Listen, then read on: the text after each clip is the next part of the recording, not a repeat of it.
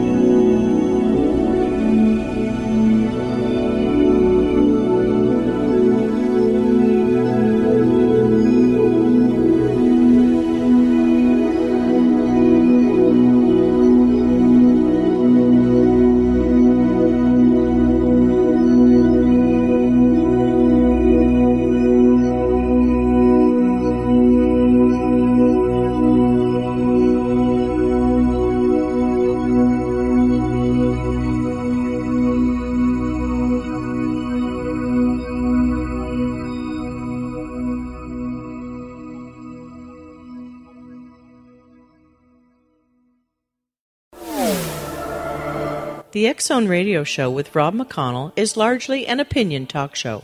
All opinions, comments, or statements of fact expressed by Rob McConnell's guests are strictly their own and are not to be construed as those of the X Zone Radio Show or endorsed in any manner by Rob McConnell, Relmar McConnell Media Company, the X Zone Broadcast Network, its affiliated networks, stations, employees, or advertisers.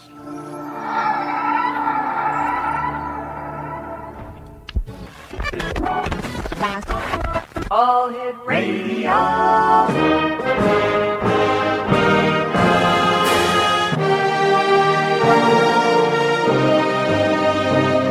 Welcome to the X Zone, a place where fact is fiction and fiction is reality. Now, here's your host, Rob McConnell.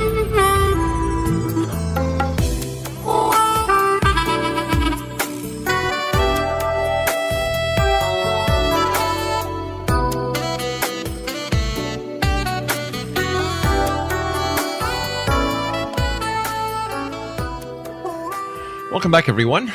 This is the Zone. I am Rob McConnell. We're coming to you from our broadcast center in Hamilton, Ontario, Canada.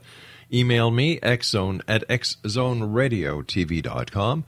And you can always find us on any social media site at Xzone Radio TV and our main website, www.xzoneradio.com. And we're heard Monday through Friday right here on the Xzone Broadcast Network, the Mutual Broadcast Network, Talkstar Radio Network, and of course in Europe on Radio X.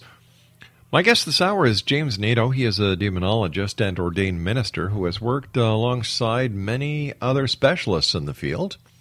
And uh, James is also a paranormal investigator, researcher, co leader of Paranormal Specialty Crew, and the founder of the Dominion Ministry. Now, he's been involved in the paranormal field since the early age of 15, investigating graveyards and legendary surrounding in the New England area, such as Mercy Brown, Ladd School, USS Salem, and uh, Slater Mill. His knowledge of the paranormal comes from reading many books in his early years, watching unsolved mysteries, scariest places on earth, and then, eventually, ghost hunters increased his interest and knowledge of the field. Joining me now from Rhode Island is James Annitto. And James, welcome to the X Zone. Oh, thank you for having me on. I appreciate it. James, what was it? Um, did you have a personal experience that prompted you to become a uh, a paranormal researcher, or or was it just the interest uh, the interest in the in the field? Well, that's a good question. You know, there's a lot of people in this uh, field that have gained um, experiences in the childhood state. Uh, me, uh, I just was very highly interested in it. My aunt uh, showed me a picture of a possibly ghostly figure. I, of course, was young Mhm. and I do not have access to that photo anymore. Yeah. Um, but, you know, it was in a window, it was like this ghostly figure. So it Mhm. Piqued my interest.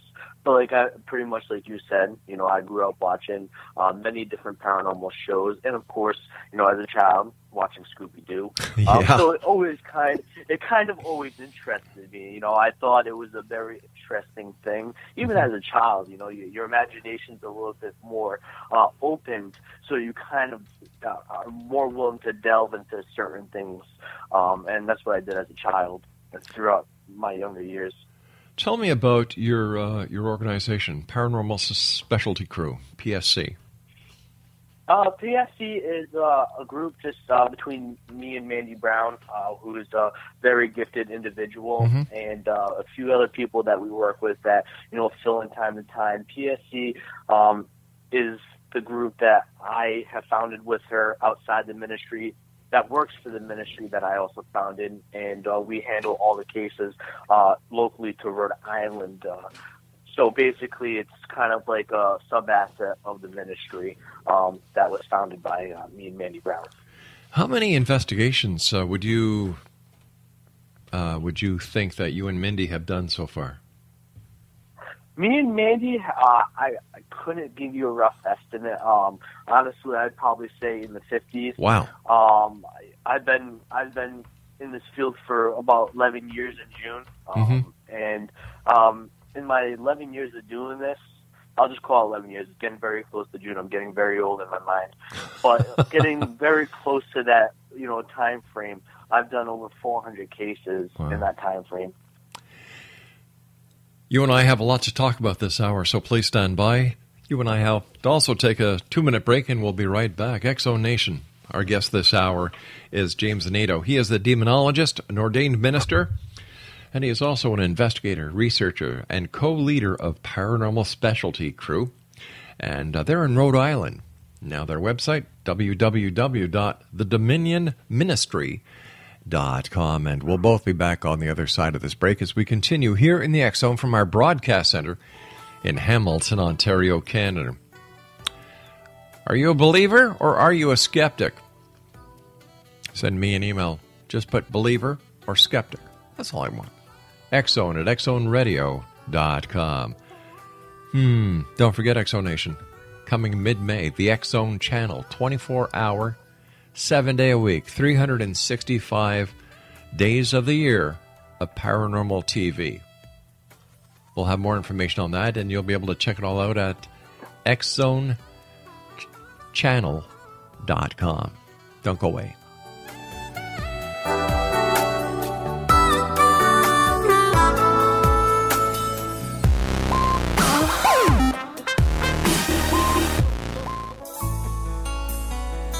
Afterlife expert Roberta Grimes was the first one to say that dying can be fun. Now, her best selling book, The Fun of Dying, is available in stores worldwide.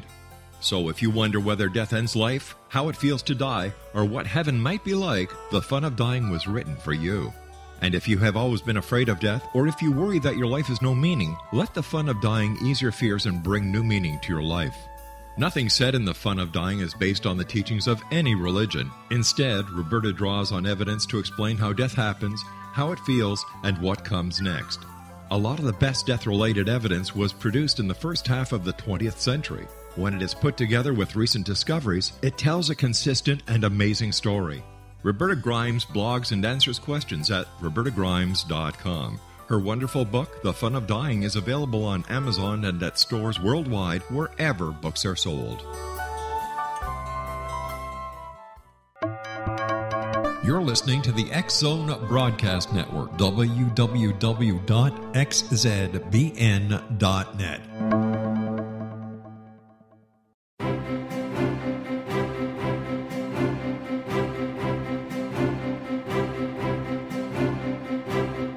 While science pursues fact, magic accesses the quantum level, bridging random facts to form truth. As long as science and magic remain separate and polarized, the truth cannot be known.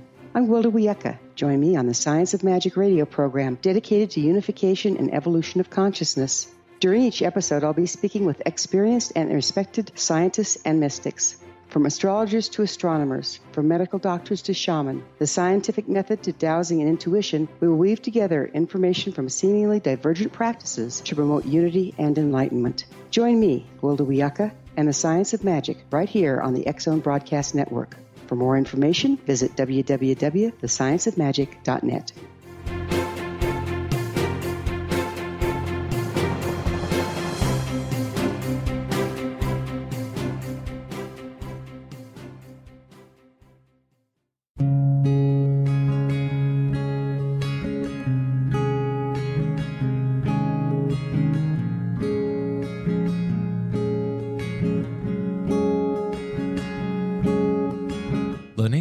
began to demonstrate a metaphysical connection to the spirit world as a little girl.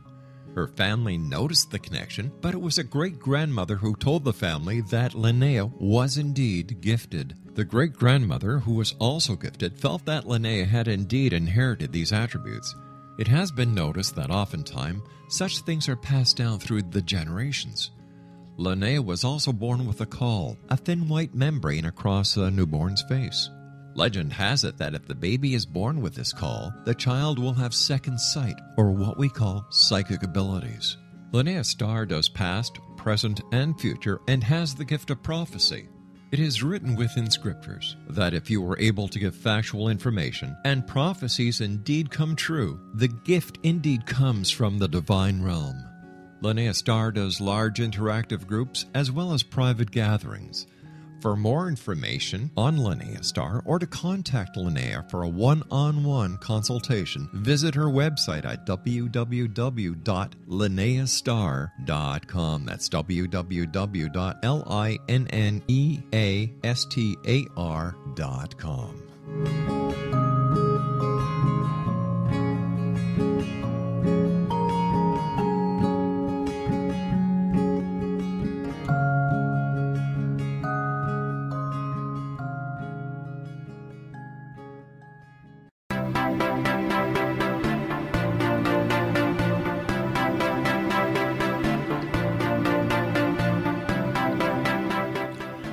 James Annitto was our guest this hour, Exonation. He is the co leader of Paranormal Specialty Crew, PSC. They're in Rhode Island, and their website is thedominionministry.org. James, where has been your most memorable investigation? Well, I would say the most memorable investigation I would have to say would be uh, I'm going there back in May, and this doesn't have to deal with the demonology aspect of anything. I would say I have to say my favorite location would be Waverly Hills. Oh yeah, and I have an uh, I have the choice. To, I have the chance to go back there in May. Mm-hmm. Uh, the lead investigator for an event, so I'm very excited. Why is that place still so haunted? Like it's there have been so many different paranormal organization groups and crews that have gone there, you'd think that the spirits would be get be uh, you know so sick and tired of people by now that they'd actually kick them out. Well, yes, and I and I really do. Um, you know, everybody has a different way of investigating, mm-hmm. different way of researching the paranormal. I tend to go into places and not ask a plethora of questions. I actually go into locations and uh, you're pretty much uh, chitter chatter with the people I'm uh, investigating with, uh, because I feel like uh, if I'm asking too many questions, uh, as like a real person um, they, nobody wants to be questioned like you're sitting in a room with a cop questioning you. Um, so I like to, you know, chitter chatter. I like right. to ask questions here and there. But you know, I think uh, I think it's so active and you know people still get success there with evidence is because of just the history that place has had, um, the many deaths, and you know, I think I think just the the, the stanza, the the mantra of the place um, is just you know very very dark, but very full of energy of you know uh, paranormal activity. Hmm. Uh, how would how do you conduct your investigations? Because you know it seems that each and every organization, group, or crew has their own specific way of of doing an investigation. So how would you proceed? Let's say somebody was to call you up and they said, uh, "James, I, I think we have a demonic entity in our house. Can you come with your crew and check things out for us? How would you proceed? Well, there's a there's a few different processes. I really don't necessarily investigate anymore and bring out equipment Okay. because um, I, I'm so busy. So in, in theoretics, uh, if this was a case, somebody called me just now. Uh, basically, I would go through an inter- interview process. I have a questionnaire form uh, about 20 pages long that goes in from the you know uh, physical, mental, and uh, you know personal aspect uh, to see if anything is going on outside the ordinary. Uh, that's not paranormal. Maybe relationship issues. Maybe uh, drug drug usage. Um, what what also happens depending on the location? Um, sometimes I'll send an actual investigation group to go to these locations and feel it out, um, gain evidence, see what they say about the client, and uh, based upon that feedback and the feedback that I got from the client, um, you know, I'll come up with a determination that if you know I should be involved in the case, or you know, this person actually needs medical help. And which I'm not a medical doctor. I, I don't have a psychological theory. I don't have a medical degree. Right. Uh, but you know, I have the, I have the the lucky chance of working with a mental health specialist, and you know, I know a few psychologists that I could ever call upon just to you know sit down with the individual and maybe say, okay, this person might have this disorder, and you know. Give my honest opinion to the client. Say, you know, you maybe you should go, um, go see, uh, seek medical help.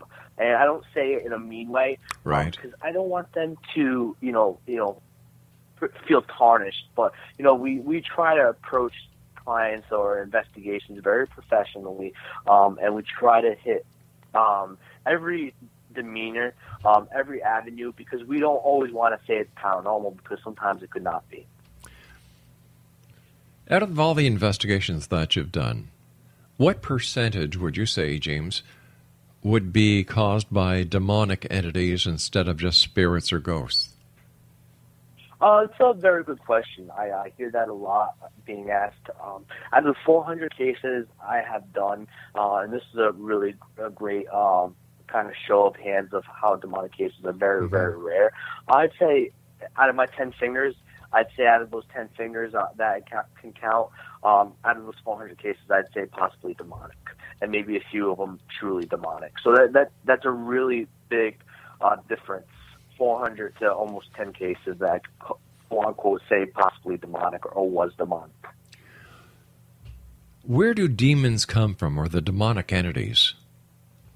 Well, you could you could definitely hit that in a lot of staples. There's a lot of theories. You can look at it in the Christian standpoint. You can look at it at many different religious standpoints. You can say it's biblical, or you could just say demonic entities are uh, a negative energy um, created by negative people, negative environments. Um, so there's definitely different theories. I can never truly honestly tell you what a demon is because if we actually ever had that full information, then you know we'd have a better idea what we're dealing with. Um, but being a demonologist, it's not my answer to know what a demon is. It's my answer, to, or, or at least my study, to try to find out what a demonic entity truly is. So there's many different theories I could give you, but then that would have to be longer than an hour long show.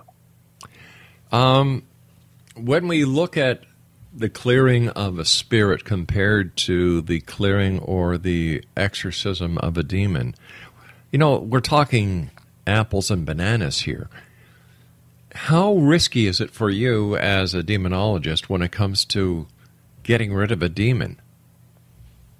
Well, it is very risky. And you said one word exorcism. I do not do exorcisms. I am not a clergy member through Okay. any uh, main church, uh, such as the Roman Catholic, the Greek Orthodox, or Russian Orthodox, which primarily does exorcisms. I do a thing called deliverances, but those are still which are equivalently dangerous as an exorcism.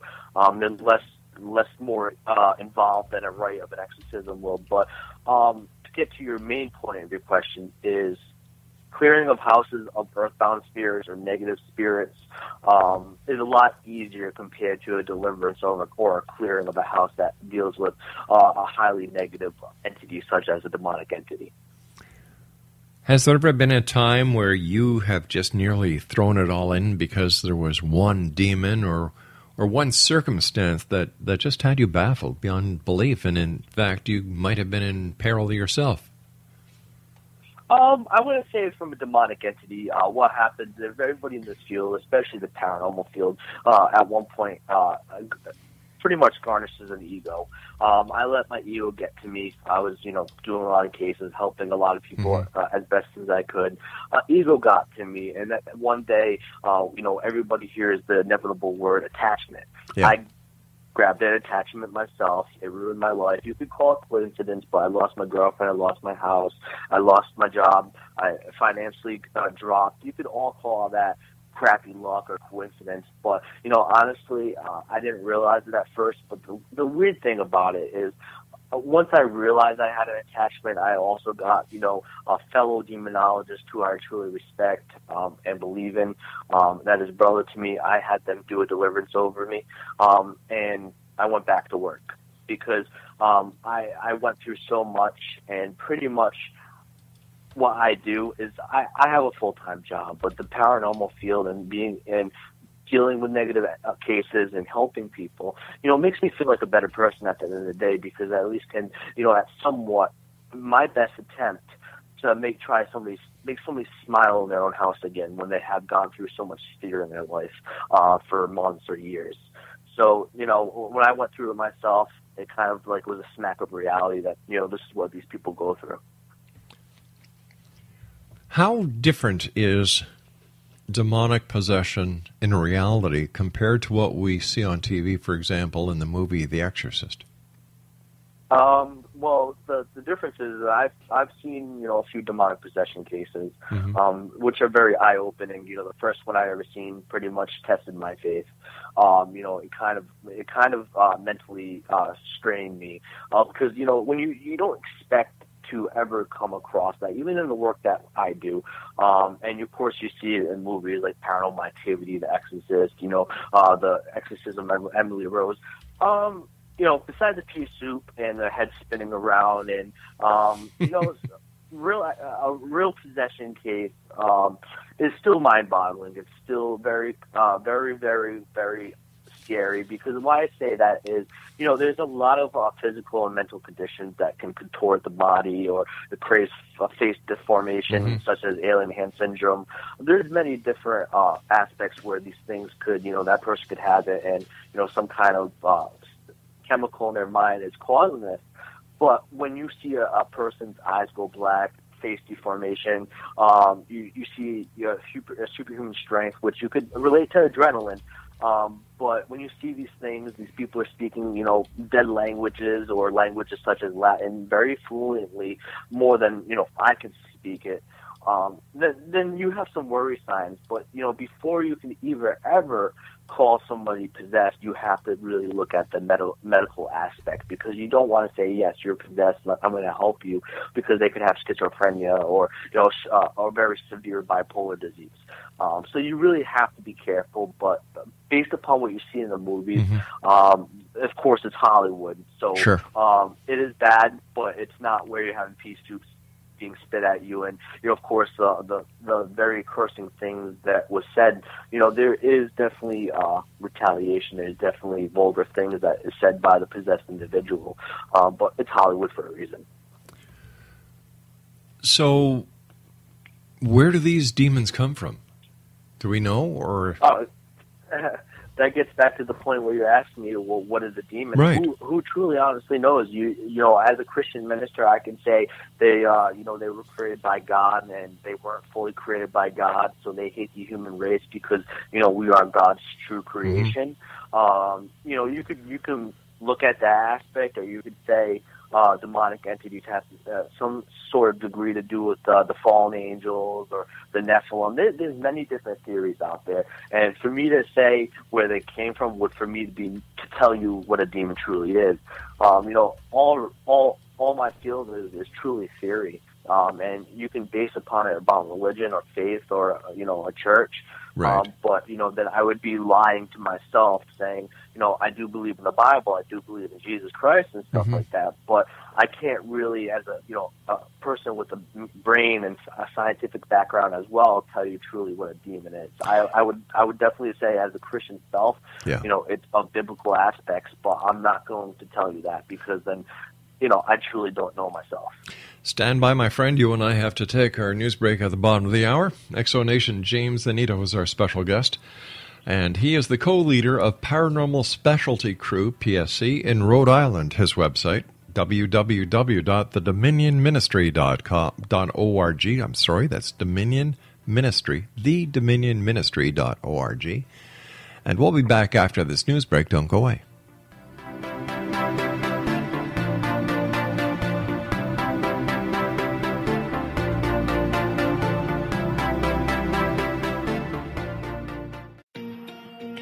Wouldn't you love to know the secret to everything? Well, then, meet Dr. Kimberly McGeorge and her cutting edge breakthrough knowledge that combines science with possibility. Dr. Kimberly brings real life answers and healing to those open to alternative solutions. She teaches solution based programs and classes that will change all areas of your life forever. Specializing in conscious creation, intuitive readings, and energy medicine, you can rapidly shift health, relationships, business, and money and abundance challenges quickly. Receive her best selling book, Secret to Everything, at no cost by going to secrettoeverything.com forward slash X Zone. That's right, transformation can start now. Just go to secrettoeverything.com forward slash X Zone and receive Dr. Kimberly's book for free.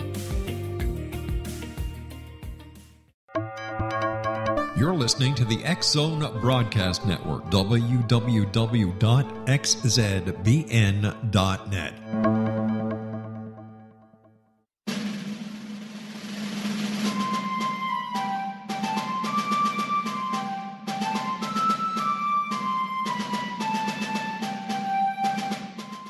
Thomas Jefferson was a Burgess of 27 when he met Martha Wayles Skelton, a 22 year old widowed heiress who was fondly called Patty by her family. They were married on January the 1st, 1772, and they took up residence in a cabin on the building site on top of a Virginia mountain that Thomas had named Monticello. As Thomas and Patty slowly built their first version of the great house at Monticello, the Revolutionary War was heating up. Patty, with difficulty, bore five children, but only two girls survived. Thomas's political career developed to the point where he was often away from home. But after he authored and signed the Declaration of Independence in Philadelphia, he resolved never again to leave his wife. He was elected the governor of Virginia, just as that state became the Revolution's last battleground. The Revolutionary War ended in 1781, and Thomas gladly retired altogether to My family, my farm, and my books.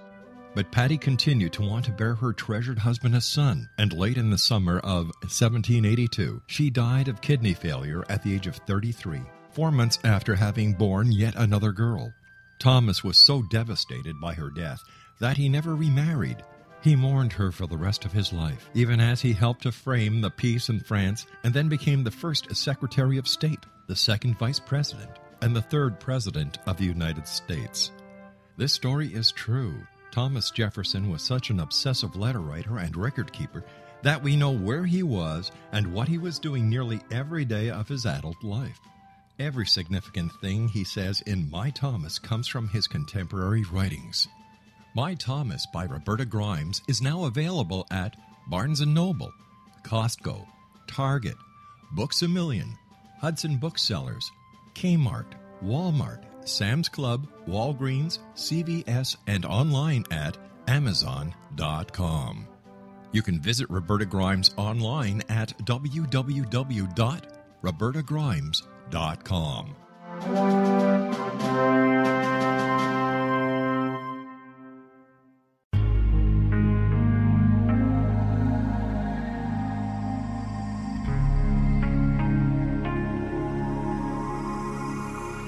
The scientist and the mystic have been on an age old, relentless search with one thing in common. They seek truth. Their paths converge in the 40,000 year old practice of shamanism, an ancient science delving to the quantum level of life, facilitating healing, manifestation, and evolution. I'm Gwilda Wiyaka, the founder and director of Path Home Shamanic Arts School, a unique Colorado State certified occupational school training shamanic practitioners and teachers. We also provide classes for empowering personal lives through shamanism. Our certification classes are in week long segments enabling international participation, and online classes and long distance shamanic healing sessions are available. Come discover the science of magic in the limitless world of shamanism. www.findyourpathhome.com.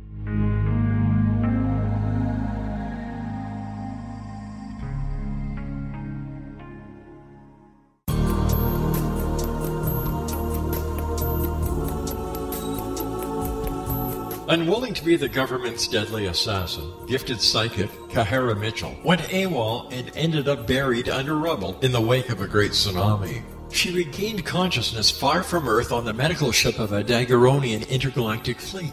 Has she been rescued or abducted by aliens? The Chalice of Kari, Kahira O'Donnell's latest paranormal science fiction romance, is the passionate story of an Earth woman and her destined mates, twin kings from another galaxy. Kahara uses her gifts fighting alongside Lords Rom and Ra in a war that will determine the destiny of galaxies. The Chalice of Kari by Kahira O'Donnell is now available at kahiraodonnell.com or at amazon.com.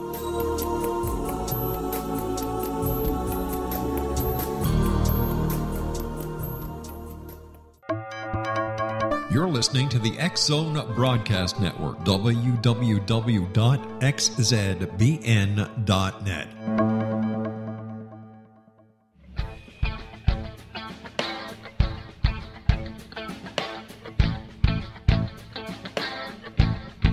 What happened in Benghazi is revealed by Nicholas Genix, author of Obama, Islam, and Benghazi. He informs the American people that President Obama deceived them by advocating a strong foreign policy prior to the 2012 presidential election, and Hillary Clinton supported this deception. As the title infers, there is a connection between Obama, Islam, and Benghazi. Ample evidence informs Americans that Obama's early indoctrination in the Quran developed an affinity for Islam, why the Quran is the source of discontent in many countries, and why the Obama foreign policy deception led to poor military action and caused the loss of American lives in Benghazi. Genix provides 36 questions for the Select Committee on Benghazi to validate if Americans are justified to mistrust President Obama and Hillary Clinton.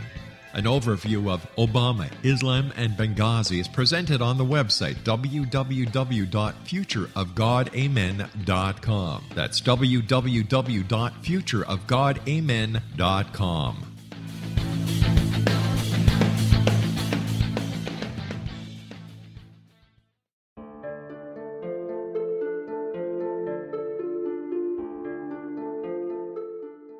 Annie Callahan, dedicated to negotiating a position for Earth within the Dagaronian coalition, had trained for three years to become an Earth ambassador.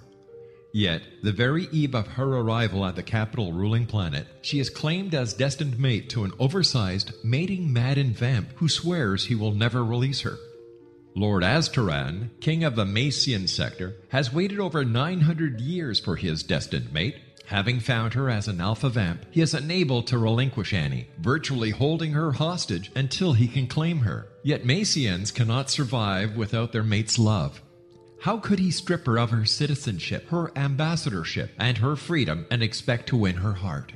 With All That I Am by Kahira O'Donnell is the latest book in this exciting series, The Dagaronian Chronicles, guaranteed to keep readers coming back for more. With All That I Am by Kahira O'Donnell is available on Amazon.com and KahiraO'Donnell.com.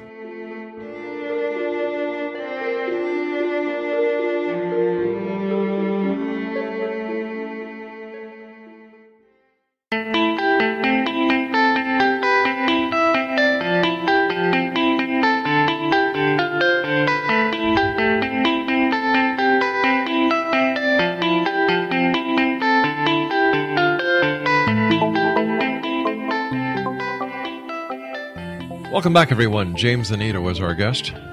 He is with, or he's the co leader, I should say, of Paranormal Specialty Crew, PSC, in Rhode Island. And their website is thedominionministry.org. Now, can you tell me how you perform a deliverance? Well, deliverance by definition is the action of being rescued or set free. So mm-hmm. basically, what a deliverance is is um, you sit a person down or the individual is, uh, you know, forcefully sat down, depending. Uh, we don't, you know, abuse the client. We do have a waiver program. We are, um, you know, LLC. We do have liability. Sure. We try to cover ourselves just like a church would. Um, we we do everything uh, correctly. And what basically a deliverance enacts is I have you know a set of prayers called deliverance prayers um, that you know has been molded uh, to my liking that you know I can relate to because it, it's me that is enacting the words, even though you, some people would say God is working through you, Mm-hmm. or you know, uh, or whoever your higher power is working through you, of course. Um, but it's me enacting the words. So when during a deliverance ritual, um, it consists of holy water, anointing oil. You know, incense can be burnt. Um, you know, it, requires an assistant. I say prayers. The assistant backs me up and says prayers. Um, uh, the crucifix being laid upon the person's head, anointing the individual. Um, Latin prayers involved. And pretty much what the deliverance ritual is, by like definition, like I said, is setting the soul free uh, from the connection of an attachment or uh, oppression or possession. Um, so it pretty much is. It pretty much cuts the cord between um, the the predator and the prey, Right. uh, the host and the catalyst. Um, so basically, that's what a deliverance ritual is. It's a very highly in depth uh, ritual. Um, you know, every you know technically any layperson can be involved in deliverance ritual, but you know you also have to be very cautious because it could be very dangerous. Uh, clients do uh, d- depending on the course of the action uh, or what they're dealing with do react very very badly. Um, try to attack you, or you know they get sick. So you really have to uh, understand what you're doing, and you know, and it's a, a lot of a process to it you know, I a lot of people fast or pray for a Mhm. week. You know, basically, I motivate myself. I get in a right mindset, and then I go into a deliverance. I, I'll never go into a client's house and do a deliverance if my if my head's not screwed on, my shoulders right. Wow. As- you know, So, how long does it take from the time that you enter the, the house to the time of the deliverance and the time it takes for the deliverance to take effect? Uh, most uh, most cases, you know, depending on uh, depending on the client, depending on the situation, could be a few hours, Mhm. could be a day. Um, I've dealt with clients, uh, not necessarily their fault. Um, I've dealt with clients more than once uh, in a few day basis or a few weekend basis where I, I have to come back and uh, you know pretty much consult them and you know re- read through prayers over them. Um, so sometimes it could be a few hours to a few days or even a few months, depending uh, on the person that you're dealing with. Uh, most of the time, uh, I, I will only go to a location a few times. After a few times, I tell the client that um, I'm not able to help you anymore. This is somebody else's number that may be able to assist you better than I can. Or I tell the client that, you know, I can't assist you because um, if you're not willing to listen to my advice, um, you know, I'm trying to consult you spiritually. Um, I, I, I'm not able to assist you anymore because at the end of the time, I do this for free. I don't charge people. Um, so it's, you know, it's wasting my time at the end of it and it saves me from aggravation from, you know, beating my head against the wall. Fascinating. Um, how do people attract these demons? Uh, is is there something that they do? Like I, I know that we've talked about uh, the lifestyle, whether it's medical, whether it could be the use of a of a substance or or whatever. But are there other ways where a person can actually encourage a demon to enter their life? Um, definitely. I do believe that there's different methods, um, and I really do believe it really depends on your intention. Uh, you can use a lot of spirit communicational devices. Um, you know, a lot of people give Ouija boards a bad rap. Um, you know, certain uh, things such as seances. If you're doing these things wrong and you're doing these things with bad intentions, you're opening up the veil pretty much for yourself to be attacked, uh, even though you don't necessarily want that, and some in some kind of intention that you are wanting that. And you know, a lot of people don't realize that because a lot of people do certain things such as spirit communication in a negative light, and they're not trying to do it in a negative light. It's kind of like you're you're doing a digital recorder session for an EVP Right. um, you know, uh, if you go into a location, and it's not has to be necessarily a Ouija board or seance or table tipping. Um, you can go into a location with a uh, digital recorder or, or tape recorder, if you like the old analog signal, um, and go in and start asking very, very provocative questions, very, very negative questions, and it'd be the same way you could come home with an attachment because you know, think about it. At the end of the day, negative attracts negative. You know, you're a negative person. Negative things are going to happen to you. Um, and you know, I believe in most cases, um, you know, a lot of people bring it upon themselves, and they don't necessarily know they did. What can people do to prevent negative entities or, or demons from entering their lives? Well, sometimes uh, it, sometimes it just happens, but I think the mm-hmm. best thing is you know what I do, and it happened to me because I got egotistical, and you know ego ego egotistical beliefs is very negative because you're not think you're thinking about yourself in a very high, highly way. So I think in most people I can tell is you know just try to live a positive life. You know, negative things are going to happen, road bumps are going to happen, but it's how you get over those road road bumps in a positive light. Um, another way is, of course, you know, don't dabble in things that you don't know what you're dabbling in. You can read books, you can learn source materials, but when you try to, um, you know, enact these source materials right. and these readings and you know, these certain rituals, and you have no idea what you're doing, then don't do it. You know, it's and don't go into investigations or locations that are, are highly negative uh, unless you, you have a basis of what you're doing or you're around people that can help teach you um, the right ways to do things. And of course, you know, have faith and belief in something. It doesn't have to be in a higher power. It could be a belief in yourself. Uh, you have to always have your head on your shoulders when you're doing this kind of work because not, not even just the negative aspect of it, but paranormal investigation. You always have to be in the right mindset because if you're not, you know, you don't necessarily know what what's going to happen after that. You never have a game plan. What about Ouija boards? Have you had any experience with Ouija boards and people who have used them and have found themselves in a bit of a a bind?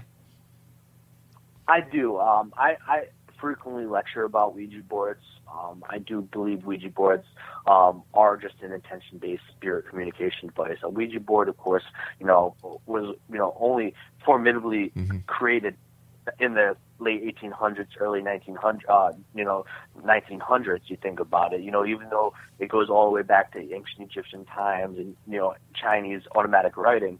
Um, it's really an intention. You know, the Ouija board was necessarily not created um, by the novelty company, Kennard Novelty Company, uh, to be negative. It was meant to be a board game, but of course, throughout the time, people have, um, you know, come to accustomed to believe that Ouija boards are evil, and which I've dealt with cases where you know uh, things have happened because of the Ouija board. But you know, you ask these people, "What did you ask on the Ouija board?" and they said, "No, they wanted to talk to a demon, or they or they were trying to ask stupid questions um, that you know pretty much is mind blowing. So in that aspect, you know, it's kind of like a switch. You know, if you talk to Robert Murch, who uh, who loves Ouija boards, collects them, he you know the Talking Board Society, you know, he he'll say they're not evil, but it really depends on who you talk to. I have dealt with cases where they have uh, created a negative domino effect and you know wreck people's lives. Um, but you know, it really is at the end of the day the intention of the use and the lack of knowledge of the use. When it comes to protecting yourself, when you and and uh, Mindy, I believe. Mandy and, Mandy? and other people as part of the ministry. Uh, right. The ministry is uh, uh, worldwide. I mean, countrywide in the United States, I should say. So everybody that I work with in the ministry as well. So, so how do you, when you and Mandy go out to do an investigation? How do you protect yourselves from, you know, not bringing anything home with you guys? Well, there's a, there's a few different things. Um, basically, I have a process. Um, I get uh, if I know a case is coming up, I get in a positive mindset. I wear my religious items, which I you know I put empowerment into. Um, you know, she does the same thing. Uh, mm-hmm. Basically, uh, I put myself in a positive bubble. and that positive bubble all the way to the day of the case. Um, on the day of the case, I'll get my endorphin endorphin levels up. I'll get my energy up, and I'll go in there with a game plan. Um, and that game plan consists of uh, like 20 different plans, from Plan A to Plan B. If Plan A falls, we do Plan B. I go in there with a systematic way of doing things because I always know that there's always going to be something that could go wrong, and that's how I protect myself. I go in there with uh, a right mindset. I go in there with what I believe empowers my protection, uh, my positive bubble, I like to call it. Um, and that's how we protect ourselves. And, you know, we come in there as positive as we can be, not negative. Because if we're going into somebody's house that they're dealing with a negative situation, Right. if I come in negative, then it just pretty much creates a worse situation. So I come in positive, and usually, basically, it hasn't worked accordingly. Beside that, like I said, that one time I put my head my head down, got ego, and uh, I got nipped on the butt for it. But you know, that's that's a mistake, and if you're willing to understand that was a mistake and a learning experience, you know, you just become a better person. You become better at what you do because you learn from the mistakes that you have been shown in your life. Do you think that the that the occurrence of evil possession or evil activity is on the increase? Oh, most definitely. If you look, and I'm not Roman Catholic, um, but if you look at the the, the exorcist of the Roman Catholic, you look at the exorcist of the Greek Orthodox, the Russian Orthodox, the people that, um, especially the work that I do. Um, if you said 10, 20, 30 years ago, you know, you could look at Ed and Lorraine Warren or Yeah. uh, Hans, and you can look at the situations that they dealt with here and there, especially Ed and Lorraine Warren. Yeah, there was very, very much negative cases, but of course the world changes. People, um, you know, human society evolves in a way where you know people start believing what they want to. And now, especially in this day of the in this day of the world, uh, a lot more people understand they have free will. Many people uh, study different religions, um, and in that aspect, things also look at what's going on overseas and of course internally in the United States um, and throughout the different other continents and countries throughout the uh, throughout planet Earth. So things have increasingly gotten negative um, throughout life. So you could look at that as um, pretty much the standing point. Things have increased because negative things have been increasing in life as well. You know, there's a lot more negative people Sure. in life than there were many, many years ago. When you guys go out and you do an investigation, how long does it take you to conduct a regular investigation? I'm not talking about a demonic investigation here, but you know, you go out, you find out, yes, there's a spirit. Uncle Harry's hanging around, or an unknown spirit is hanging around. Um, how do you how do you convince the spirit, or do you, to go towards the light, or do you just you know say, hey, listen, it's your Uncle Harry. He's hanging around. He's okay. Uh,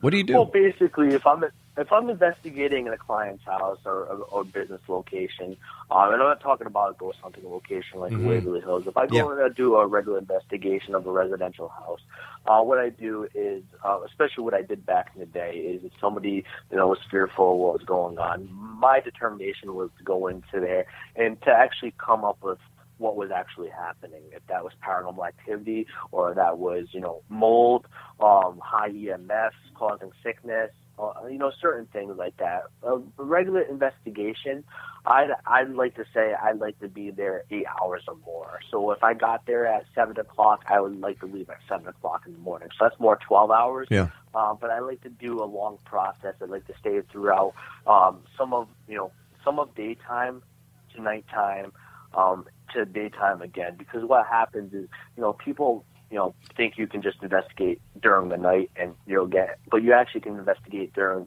daytime too and still get stuff. Um, because you know if you think about it the spirit world just doesn't activate when it's dark time. Um, so I like to do a very thorough investigation. I like to pretty much every location in the house or the business location I'd like to put ample amount of time into each each room. So like an hour in each room you know I'll set up these devices that will you know detect even though they weren't really created to detect um, spirits uh, you know, we still use these devices to at least try to come up with a cordial uh, way to communicate or detect or understand what's going on in the house. So it's a very thorough process.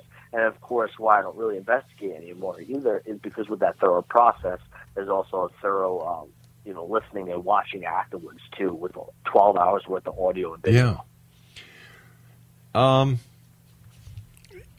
why do you think the paranormal is so popular these days and more and more people want to become ghost hunters? And there's a phrase I can't understand because you're hunting something that's already dead, so let's scratch that.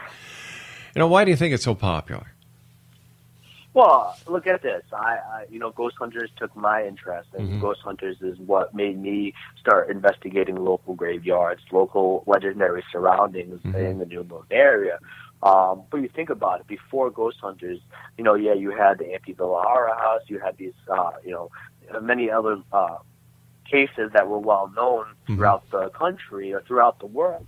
But with you know, reality television in Hollywood, increasing increasing the paranormal format. Right. Um, you know, a lot of people came out of the drawing board and said, you know, that's that's cool. And some people do it because it's cool. Some people do it to actually, you know, help the client or help individuals understand what is going on in their house or to understand what you know the paranormal activity truly is. Um, so basically, I think it has increased in popularity because of you know you look at television nowadays there's every every station of course besides like the food network and stuff like that you know has some kind of paranormal or some kind of aspect of paranormal. It's not just ghosts ufos mm-hmm. cryptozoology. It's a very popular thing now and that is why i think it has increased. You know if you look at rhode island which is the smallest state in the united states union we when I first started in the paranormal. James, I'm, go- I'm going to James, I'm going to have to hold you here because I have to take my final break. Please stand by. X Zone Nation, uh, James fine. Annitto is our special guest this hour, and he is the co-leader of Paranormal Specialty Crew (PSC) in Rhode Island. We'll both be back on the other side of this break, and you can find out more about James at thedominionministry.org.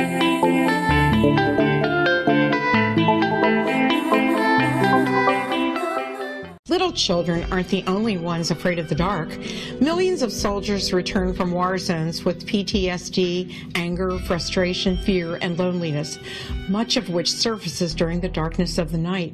You have the chance to change the lives of these American heroes. Songs and Stories for Soldiers.us provides free MP3 players for these men and women. With a list of 3 million songs in 16 different styles, 100,000 audiobooks, and 30,000 old time radio programs, every veteran can find something to soothe and comfort them at no cost. All our players contain an 8 hour audio program designed to help veterans fall asleep. With 1,500 plus vets now participating, it's our goal to deliver 10,000 audio players this year. Go to our website at songsandstoriesforsoldiers.us. Help us help a veteran make it through the night.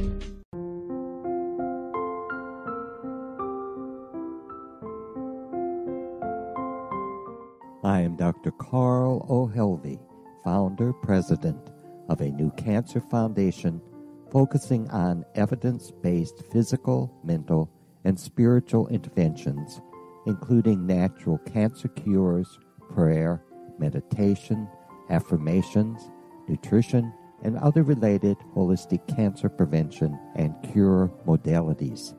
These are used in cancer education, research, and financing care. I ask for your help to continue this important work by donating at www.holisticcancerfoundation.com.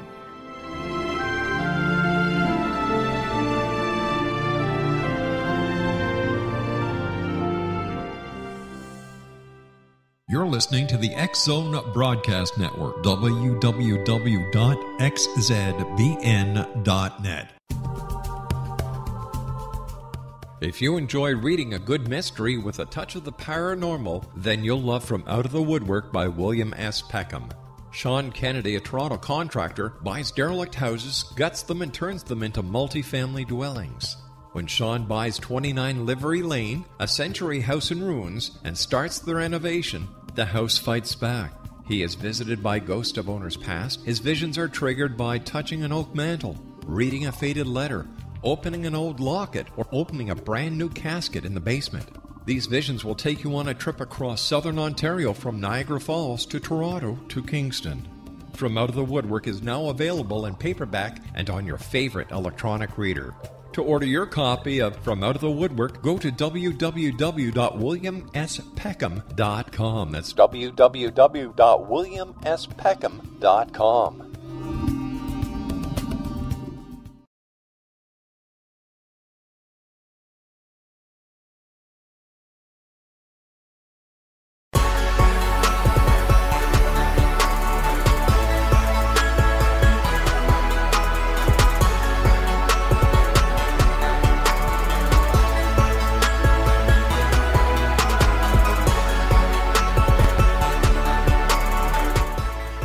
Welcome back, everyone. Uh, James Annitto is our special guest this hour. He is a demonologist and ordained minister. He is also the co leader of Paranormal Specialty Crew. That's PSC, and they're in Rhode Island. Their website, www.thedominionministry.org. Uh, James, before we went to the break, you and I were just chatting, and I had to cut you short there. So if you'd like to continue, go right ahead. Oh, definitely. Um, I, I, I totally forgot where I was at. What was the question again? oh, Craig says. Craig says let's let's just go on because we've got about three minutes left. What are your final thoughts tonight for the listening audience of the Zone Nation around the world when it comes to demonology? Well, my final thoughts on demonology is if you truly want to get in this field for the right reason and you want to study demonology, mm-hmm. make sure it's something you truly want to do. It it is honestly a calling. I do feel like if you start studying and start dealing with negative cases, um, it consumes your life, and not necessarily in a bad way, um, but you will start receiving a lot more negative cases. So if you really want to get into demonology, make sure you know it's something you truly want to do, and for people that are interested mm-hmm. in the Dominion Ministry, uh, does have an apprentice program that you know all of our members are able to take under an apprentice and mentor them. So you know that person has somebody that has been in this field 10, 20, 30, 40 years and learn under those individuals and learn the right way. There's a new movie coming out in a couple of weeks. It's about four female Ghostbusters and a male um, secretary. How do you think that this comedy is going to affect the credibility of organizations such as yours in the public's eye? I don't think it's going to affect it. I think there's smart people out there that can mm-hmm. uh, distinguish the difference between something comedic like Ghostbusters and the actual fundamental helping people and the, the true true science that we try to make out of the paranormal field. So I don't really think it's a big issue because if you think about it, the original Ghostbusters didn't make this field a laughing stock either. Um, you know, before it was very but popular. It, but it wasn't that popular. But you see, the, the, the field wasn't as popular as it is now. Plus, you know, lo- all of these all of these uh, reality TV shows are really stretching it now because they need to. There's so much competition that they all have to try and outbeat the other guy. And uh, my personal opinion, they're killing the industry. Well, that's the, the, that's where it is going to that where that industry of paranormal entertainment mm-hmm. um, will you know weed out. There's going to be the people that you know stay in this field as true investigators, right. true researchers, and true people that help. And you know, yes, it does kind of put it's a double edged sword. Mm-hmm. So it will definitely dampen what people think of the paranormal. But that is where people that truly do this for a good cause will stay with it and fight for the paranormal field to be an acknowledgeable thing. And then those other people that are just caring about, you know, being paranormal entertainers yeah. will, will, will wither, wither away and, you know, go do something else. James, I want to thank you ever so much for joining us tonight. It's been a great pleasure talking to you, and I hope that you and I have the ability to speak again in the future. But for now, my friend, let our listeners know how they can find out more about you and get more information on you. You can go to www.dominionministry.org, or you can go to jamesnito.com, or you can go on Facebook or any other social media and search me up, James Annitto. James, take care of yourself and uh, be safe, my friend. You as well, and I appreciate you having me on tonight. My pleasure. Good night, James. That's uh, this hour, X Zone Nation. James Annitto has been our guest. Once again, the website is thedominionministry.org, and James is co leader of Paranormal Specialty Crew in Rhode Island. I'll be back on the other side of this commercial break with the news as we continue here in the X Zone from our broadcast center in Hamilton, Ontario, Canada. You can always check out what we're doing by going to www.xzoneradio.com.